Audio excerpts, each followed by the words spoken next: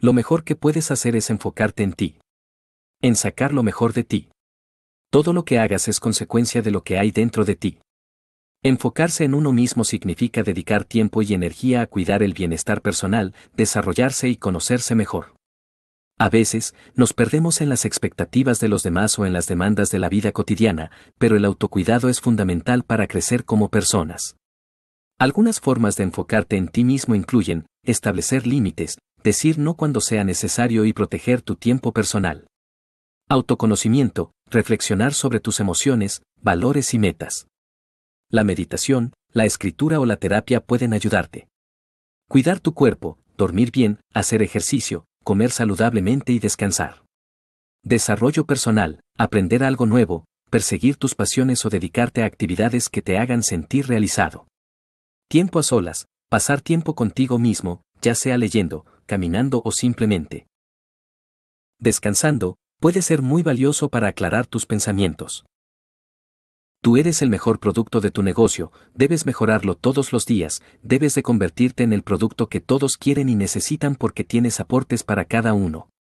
Tendrás desafíos, pero al final, tú contra tú, esa es la batalla definitiva, ¿no es así? La que realmente importa. No es tú, contra tu vecino. Tú quieres mejorarte a ti mismo y tienes un sentir positivo y otro sentir negativo, la batalla está dentro de ti. No es tú contra tus compañeros de trabajo. Ni tú contra el mundo. Es tú contra tú. Ahora, ¿por qué es eso? ¿Por qué esta lucha interna es tan crucial? Porque es la única batalla sobre la cual tienes control total.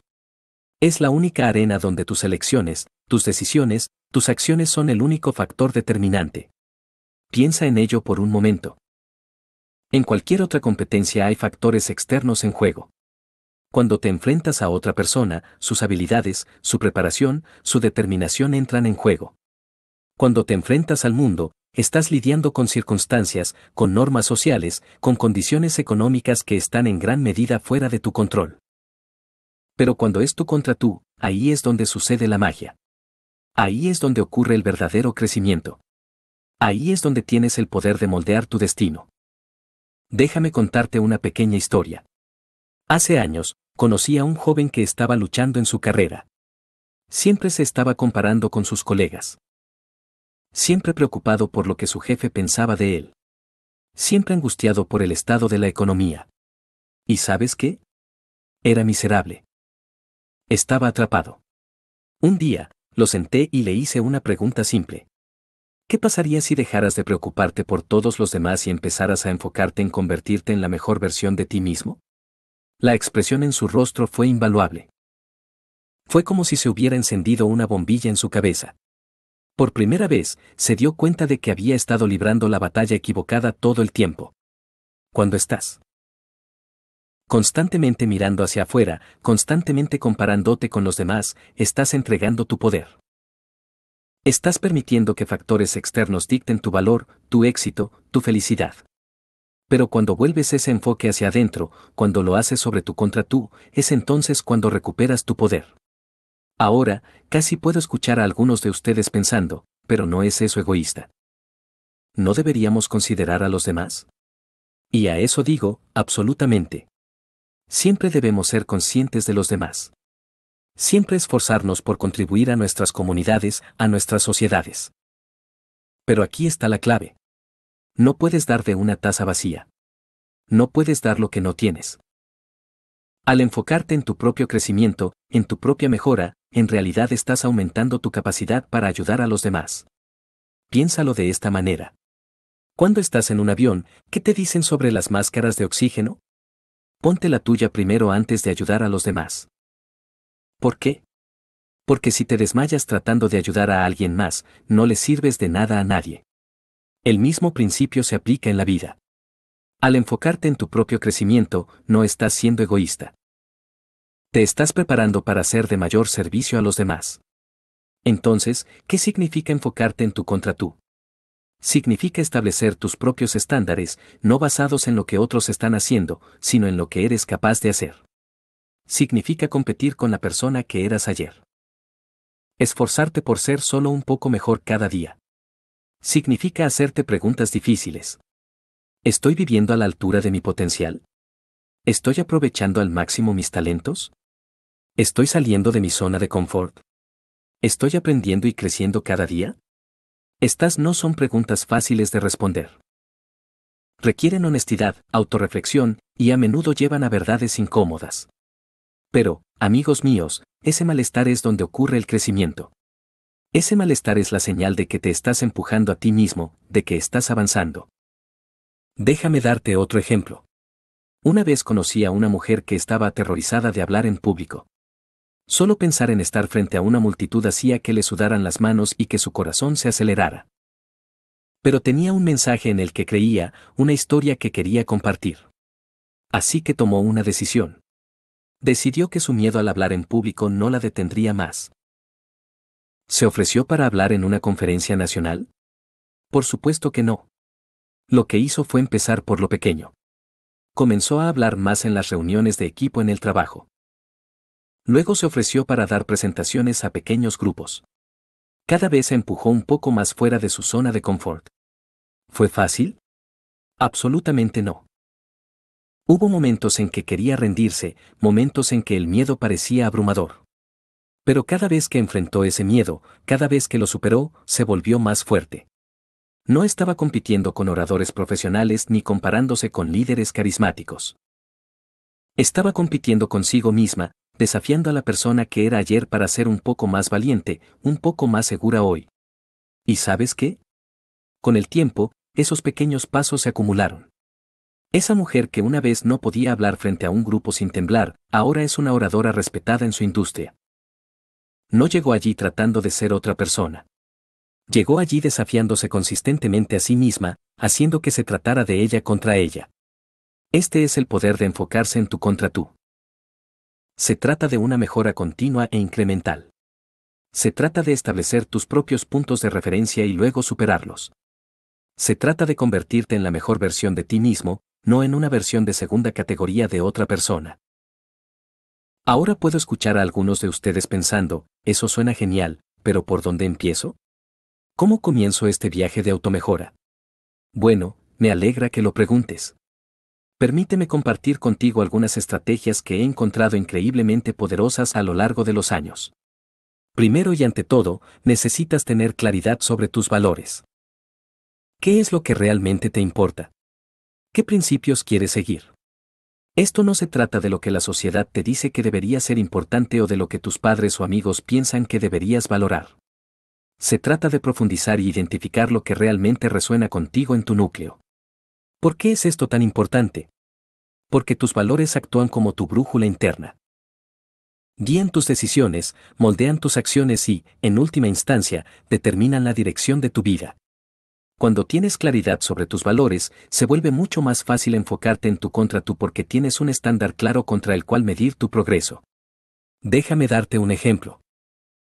Supongamos que uno de tus valores fundamentales es el aprendizaje continuo. Ahora, en lugar de comparar tu conocimiento con el de otros, puedes enfocarte en si estás viviendo a la altura de ese valor. ¿Estás leyendo regularmente? ¿Estás buscando nuevas experiencias? ¿Estás desafiando tus suposiciones? Estos se convierten en tus puntos de referencia, no en cuanto sabe otra persona o qué títulos tienen. Establece metas claras y específicas. Ahora, no estoy hablando de deseos vagos como, quiero tener éxito, o, quiero ser feliz. Estoy hablando de metas concretas, medibles, que estén alineadas con tus valores. Si el aprendizaje continuo es uno de tus valores, una meta podría ser leer un libro al mes sobre un tema fuera de tu área de especialización. Si la salud es un valor, una meta podría ser hacer ejercicio durante 30 minutos, 5 días a la semana. Estas metas específicas te dan algo tangible hacia lo cual trabajar. Una manera de medir tu progreso en tu batalla de tu contra tú. Pero aquí está la clave. Estas metas deben estirarte, pero no deben romperte deben ser lo suficientemente desafiantes como para sacarte de tu zona de confort, pero no tan abrumadoras como para que te sientas sobrepasado. Recuerda, estamos apuntando a una mejora continua e incremental. Desarrolla una mentalidad de crecimiento. Esta es la creencia de que tus habilidades e inteligencia pueden desarrollarse a través del esfuerzo, el aprendizaje y la persistencia. Es lo opuesto a una mentalidad fija que cree que tus cualidades están grabadas en piedra, que eres inteligente o no lo eres, talentoso o no. Con una mentalidad de crecimiento, cada desafío se convierte en una oportunidad para aprender y crecer. Cada contratiempo es una oportunidad para desarrollar resiliencia. Cada crítica es una retroalimentación que puede ayudarte a mejorar. Esta mentalidad es crucial en la batalla de tu contra tú, porque te permite ver tu potencial como ilimitado. Te anima a abrazar los desafíos en lugar de evitarlos, a persistir frente a los contratiempos en lugar de rendirte. Déjame compartir una historia personal para ilustrar esto. Hace años, decidí aprender un nuevo idioma. Ahora, siempre había creído que no era bueno con los idiomas. Había tenido dificultades con el francés en la escuela secundaria y me había convencido de que simplemente no tenía una mente para los idiomas pero a medida que comencé a entender el concepto de una mentalidad de crecimiento, decidí desafiar esa creencia. Comencé con metas pequeñas y manejables. Me comprometí a aprender cinco nuevas palabras al día. Practiqué durante solo 15 minutos cada mañana. ¿Y sabes qué? Poco a poco, comencé a hacer progresos. ¿Hubo días en que me sentí frustrado? Absolutamente. Hubo momentos en que quise rendirme, sin duda. Pero cada vez que me sentía así, me recordaba que esto no se trataba de convertirme en fluido de la noche a la mañana. No se trataba de compararme con hablantes nativos o políglotas. Se trataba de mí contra mí. Se trataba de ser un poco mejor hoy de lo que fui ayer. Y con el tiempo, esos pequeños esfuerzos se acumularon. Hoy en día, aunque no soy un hablante nativo, puedo mantener conversaciones en ese idioma. Puedo leer libros, ver películas e incluso dar presentaciones breves. Más importante aún, me he demostrado a mí mismo que puedo aprender y crecer en áreas donde una vez creí que estaba limitado. El crecimiento ocurre fuera de tu zona de confort. Si siempre estás haciendo lo que es fácil, lo que es cómodo, no estás creciendo, estás estancado. Ahora, no estoy sugiriendo que debas hacerte miserable, pero si estoy diciendo que necesitas estar dispuesto a enfrentar desafíos, a hacer cosas que te asusten un poco. Recuerda nuestro ejemplo de hablar en público. Esa mujer no superó su miedo evitándolo. Lo enfrentó de frente, en pequeñas dosis manejables. ¿Qué es algo que te asusta un poco? ¿Qué es algo que has estado evitando porque está fuera de tu zona de confort? Identifícalo y luego da un pequeño paso hacia enfrentarlo. Recuerda, no se trata de conquistarlo todo de una vez. Se trata de progreso gradual y consistente. Practica la autorreflexión. Aquí es donde realmente ocurre la batalla de tu contra tú. Es en esos momentos tranquilos cuando eres honesto contigo mismo acerca de tu progreso, tus deficiencias, tus esfuerzos. Reserva tiempo regularmente.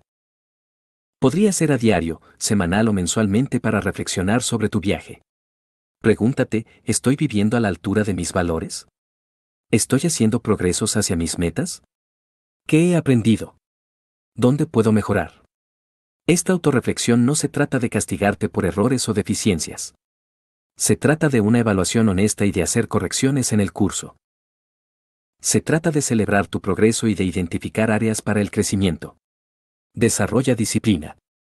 La disciplina es lo que cierra la brecha entre tus metas y tus logros. Es lo que te levanta de la cama para hacer ejercicio cuando preferirías dormir. Es lo que te mantiene trabajando en tu proyecto cuando preferirías ver televisión. Es lo que te hace ahorrar dinero cuando preferirías gastarlo. La disciplina no se trata de perfección.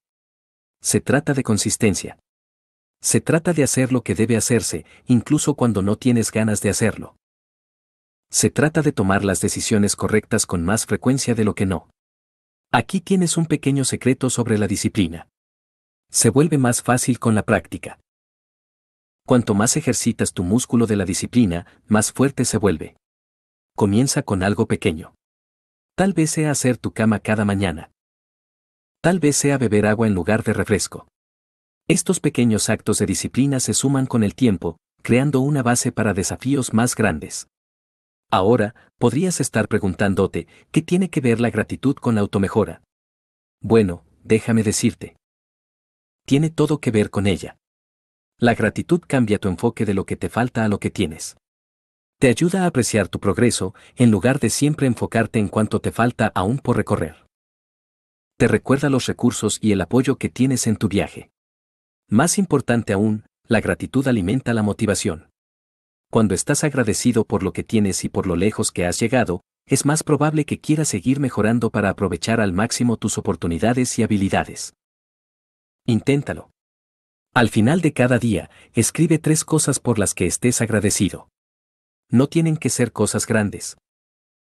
Tal vez estés agradecido por una comida deliciosa, por una palabra amable de un amigo, o por un hermoso atardecer. Con el tiempo, esta práctica entrenará tu mente para buscar lo positivo, para apreciar tu progreso en tu viaje de tu contra tú. Rodéate de las influencias correctas. Ahora, esto podría parecer contradictorio en una discusión sobre tu contra tú, pero la verdad es que todos somos influenciados por nuestro entorno, por las personas con las que pasamos tiempo, por la información que consumimos. Si estás constantemente rodeado de negatividad, por personas que te desalientan o que menosprecian tus sueños, será mucho más difícil mantenerte enfocado en tu crecimiento personal. Por otro lado, si te rodeas de influencias positivas, personas que apoyan tus metas, libros que te inspiran, entornos que te energizan, estás creando una atmósfera propicia para el crecimiento.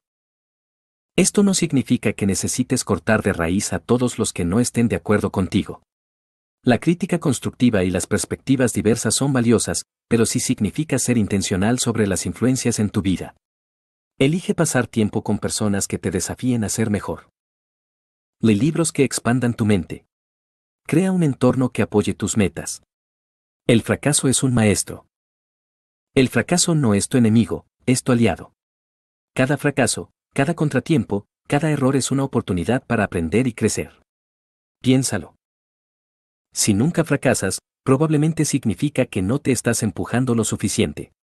Estás permaneciendo seguro dentro de tu zona de confort. Pero recuerda, el crecimiento ocurre fuera de esa zona de confort. Cuando fracasas, no te castigues. En su lugar, pregúntate, ¿qué puedo aprender de esto? ¿Cómo puedo usar esta experiencia para mejorar? Este cambio de perspectiva convierte cada fracaso en un peldaño hacia el éxito. Recuerdo a un joven emprendedor a quien mentoreé una vez. Había puesto todo su corazón y alma en una idea de negocio solo para verla fracasar espectacularmente. Estaba devastado, listo para renunciar a sus sueños de ser emprendedor. Pero cuando nos sentamos a analizar que salió mal, comenzó a ver las valiosas lecciones en su fracaso. Aprendió sobre la investigación de mercados, sobre la planificación financiera, sobre la importancia de la adaptabilidad. Esas lecciones se convirtieron en la base de su siguiente empresa, que resultó ser un gran éxito. La décima estrategia es celebrar tu progreso. En la búsqueda implacable de la automejora, es fácil enfocarse siempre en lo que sigue, en cuanto te falta aún. Pero es crucial hacer una pausa y reconocer lo lejos que has llegado. Celebrar tu progreso no se trata de volverse complaciente. Se trata de reconocer tus esfuerzos, aumentar tu motivación y reforzar los hábitos positivos que te han llevado hasta aquí. ¿Seguiste tu rutina de ejercicios esta semana? Celébralo. ¿Finalmente tuviste esa conversación difícil que has estado posponiendo? Celébralo. ¿Aprendiste una nueva habilidad? Celébralo. Estas celebraciones no tienen que ser gestos grandiosos. Tal vez sea darte el gusto de tu comida favorita o simplemente tomarte un momento para sentirte orgulloso de ti mismo. Lo importante es reconocer tu progreso en la batalla continua de tu contra tú. Desarrollar una ética de trabajo fuerte en el camino de la automejora no hay atajos. El éxito en cualquier forma requiere trabajo duro. Pero aquí está lo hermoso del trabajo duro. Está completamente bajo tu control. No puedes controlar tus talentos naturales. No puedes controlar las circunstancias en las que naciste. Pero puedes controlar cuánto trabajas. Puedes controlar cuánto esfuerzo pones en tus metas. Y con el tiempo, el esfuerzo constante puede superar muchos obstáculos. Desarrollar una ética de trabajo fuerte no se trata de trabajar hasta agotarte. Se trata de presentarte consistentemente, de poner un esfuerzo enfocado y de persistir incluso cuando las cosas se ponen difíciles. Se trata de hacer lo que debe hacerse, ya sea que tengas ganas o no. Una vez conocí a un joven atleta que no era naturalmente talentoso. No era el más rápido. No era el más fuerte. No era el más coordinado pero lo que le faltaba en talento natural lo compensaba con una ética de trabajo increíble. Siempre era el primero en llegar a las prácticas y el último en irse. Pasaba horas estudiando cintas de juegos, perfeccionando su técnica, trabajando en sus debilidades. ¿Y sabes qué? Con el tiempo, superó a muchos de sus compañeros más talentosos naturalmente. Su ética de trabajo se convirtió en su superpoder en su batalla personal de tú contra tú. En el mundo actual de gratificación instantánea, la paciencia se ha convertido en una virtud rara. Pero en el camino de la automejora, la paciencia es absolutamente crucial. El cambio real y duradero lleva tiempo. Construir nuevos hábitos, desarrollar nuevas habilidades, superar patrones arraigados. Estas cosas no suceden de la noche a la mañana. Requieren un esfuerzo constante a lo largo del tiempo. Y ahí es donde entra la paciencia. La paciencia no significa espera pasiva. Significa continuar trabajando hacia tus metas, incluso cuando no ves resultados inmediatos significa confiar en el proceso, sabiendo que los pequeños esfuerzos constantes se acumularán con el tiempo. Piensa en ello como plantar un árbol. Cuando plantas una semilla, no ves resultados inmediatos. Durante mucho tiempo, podría parecer que no está pasando nada. Pero debajo de la superficie, las raíces están creciendo, fortaleciéndose, preparándose para sostener el árbol que eventualmente emergerá. Tu crecimiento personal es muy similar. Los esfuerzos diarios que realizas, incluso cuando no ves resultados inmediatos, están sentando las bases para tu éxito futuro. La estrategia número 13 es desarrollar inteligencia emocional. La inteligencia emocional es la habilidad de entender y manejar tus propias emociones, así como reconocer e influir en las emociones de los demás. Y déjame decirte, en la batalla de tu contra tú, la inteligencia emocional es un cambio de juego. ¿Por qué? porque gran parte de nuestro comportamiento está impulsado por nuestras emociones. El miedo puede impedirnos tomar riesgos. La ira puede llevarnos a tomar decisiones precipitadas. La frustración puede hacer que nos rindamos demasiado pronto. Pero cuando desarrollas inteligencia emocional, ganas la capacidad de reconocer estas emociones y manejarlas de manera efectiva. La inteligencia emocional te permite pausar entre un desencadenante emocional y tu respuesta te da el poder de elegir tus reacciones en lugar de ser controlado por ellas. En el camino de la automejora, esto es invaluable. Por ejemplo, digamos que estás trabajando hacia una meta y enfrentas un contratiempo. Sin inteligencia emocional, podrías reaccionar con frustración o decepción, posiblemente incluso renunciar. Pero con inteligencia emocional, puedes reconocer estos sentimientos, procesarlos y luego elegir una respuesta más productiva. Puedes ver el contratiempo como una oportunidad de aprendizaje, ajustar tu enfoque y seguir adelante. Desarrollar inteligencia emocional es un viaje en sí mismo. Implica practicar la autoconciencia, aprender a manejar tus emociones, desarrollar empatía y mejorar tus habilidades sociales. Pero la recompensa es enorme. No solo te ayuda en tu camino de crecimiento personal, sino que también mejora tus relaciones, tus habilidades de liderazgo y tu calidad de vida en general. La estrategia número 14 es cultivar la curiosidad. La curiosidad es el motor del aprendizaje y el crecimiento. Cuando eres curioso, estás abierto a nuevas ideas, nuevas experiencias, nuevas formas de pensar. Es más probable que hagas preguntas, que explores, que desafíes tus suposiciones. En la batalla de tu contra tú, la curiosidad es tu arma secreta. Te mantiene comprometido en tu camino de crecimiento personal. Te impide volverte complaciente o quedarte atrapado en tus formas. Te impulsa a expandir continuamente tus conocimientos y habilidades.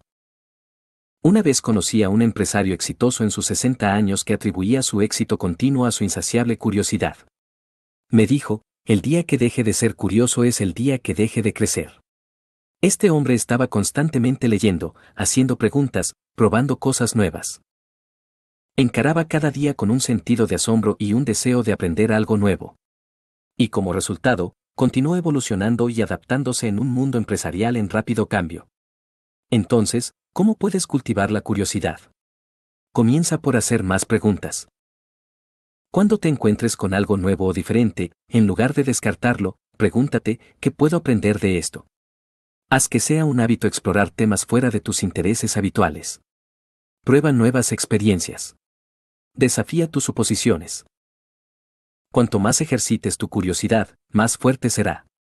La atención plena es la práctica de estar completamente presente y comprometido en el momento actual. Consciente de tus pensamientos y sentimientos sin dejarte atrapar por ellos. Y en el contexto de tu contra tú, la atención plena es una herramienta poderosa. ¿Por qué? Porque tan a menudo nos dejamos atrapar por arrepentimientos sobre el pasado o preocupaciones sobre el futuro. Reproducimos errores antiguos o nos inquietamos por desafíos potenciales. Pero nada de eso nos ayuda a crecer. El crecimiento ocurre en el momento presente, en las elecciones que hacemos, en las acciones que tomamos ahora mismo. La atención plena te trae de vuelta al presente te ayuda a enfocarte en lo que puedes controlar. Tus pensamientos, tus acciones, tus respuestas en este momento. Te permite comprometerte plenamente con tus tareas actuales. Das toda tu atención a tus esfuerzos de crecimiento personal. Además, la atención plena te ayuda a ser más consciente de tus pensamientos y patrones. Te permite observar tus hábitos mentales sin juicio. Y esta conciencia es el primer paso para cambiar esos hábitos que no sirven a tu crecimiento puedes comenzar a practicar la atención plena con ejercicios simples. Intenta tomar unas respiraciones profundas y enfocarte únicamente en la sensación de respirar. O cuando estés comiendo, presta toda tu atención al sabor, las texturas y los olores de tu comida. Estos pequeños momentos de atención plena pueden extenderse gradualmente a otras áreas de tu vida, mejorando tu enfoque y conciencia en tu camino de crecimiento personal. El cambio es la única constante en la vida. Y tu capacidad para adaptarte al cambio es crucial en la batalla continua de tu contra tú. El mundo a nuestro alrededor está evolucionando constantemente. Y para seguir creciendo, necesitamos evolucionar. Aceptar el cambio no significa que tengas que amar cada cambio que se te presente. Significa estar abierto a nuevas posibilidades. Estar dispuesto a ajustar tu rumbo cuando sea necesario. Y ver el cambio como una oportunidad de crecimiento en lugar de una amenaza. Piénsalo. Cada gran avance en tu crecimiento personal involucrará algún tipo de cambio. Es posible que necesites cambiar tus hábitos, tu mentalidad, tu entorno. Resistir estos cambios solo te detendrá.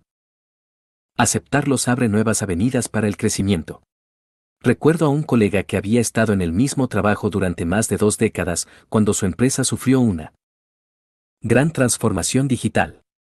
Muchos de sus compañeros de trabajo resistieron, aferrándose a las viejas formas de hacer las cosas.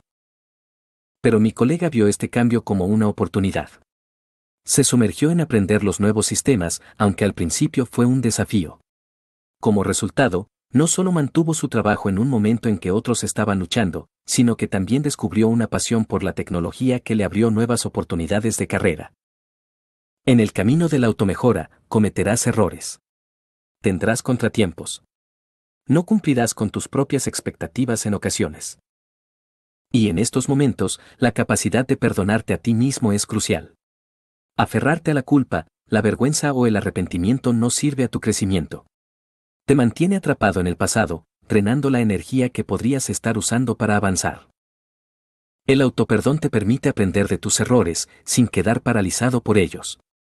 Esto no significa absolverte de la responsabilidad o ignorar las consecuencias de tus acciones significa reconocer lo que salió mal, aprender de ello y luego liberar las emociones negativas para que puedas concentrarte en hacerlo mejor la próxima vez. Y este principio de perdón también se extiende a los demás. Mantener rencores, alimentar resentimientos, estas cosas ocupan espacio mental y emocional que podría usarse mejor para tu crecimiento personal. El desarrollo personal es un proceso continuo de mejora de habilidades, conocimientos y actitudes que te permiten alcanzar tu máximo potencial.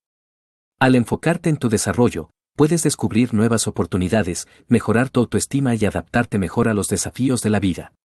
Aprende algo nuevo, invierte tiempo en aprender una nueva habilidad o ampliar tu conocimiento en un área que te apasione. Puedes tomar cursos en línea, leer libros o unirte a grupos de discusión. Desarrolla hábitos positivos, los hábitos diarios influyen mucho en tu crecimiento. Hacer ejercicio, leer, meditar o llevar un diario son hábitos que pueden mejorar tu vida. Desarrolla la inteligencia emocional, aprender a gestionar tus emociones. Entenderlas de los demás y mejorar tus habilidades de comunicación interpersonal te ayudará a tener relaciones más saludables y a tomar decisiones más sabias. Acepta y aprende de los errores, el crecimiento personal implica asumir retos y Aprender de los fracasos. No tengas miedo a equivocarte, ya que cada error es una oportunidad para aprender algo nuevo.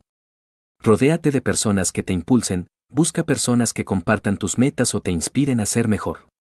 Las influencias positivas te ayudarán a mantenerte motivado y en el camino correcto.